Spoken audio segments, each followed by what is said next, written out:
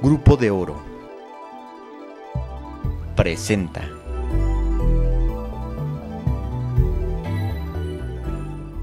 Con el fin de promover las bellezas naturales y turísticas de Michoacán, el secretario del ramo Roberto Monroy García gestionó y logró la filmación de un videoclip en la región de Siragüen.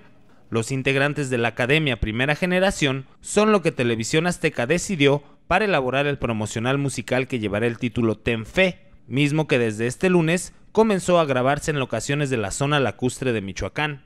En rueda de prensa, los integrantes de la empresa 360, encargada de producir el videoclip, y acompañados por 10 de los 14 integrantes de la Academia Primera Generación, en la que destaca el cantante Yair, mencionaron a los medios de comunicación que la determinación de realizar las filmaciones en Michoacán fueron por gestiones del secretario de Turismo, Roberto Monroy, ante sus amigos de la productora y de Televisión Azteca.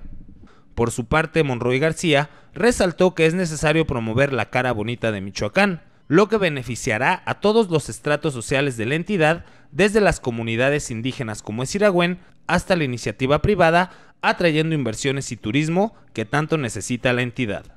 Eh, somos michoacanos, pero somos mexicanos, ¿no? Y suena un poco de broma, pero estas muy malas cosas que han pasado en nuestro país, tenemos aquí gente de los académicos de Jalisco, de Nuevo León, de Baja California, de Sonora, de Veracruz, de Tamaulipas, de Coahuila, de Guerrero, en todos lados ha habido malas noticias.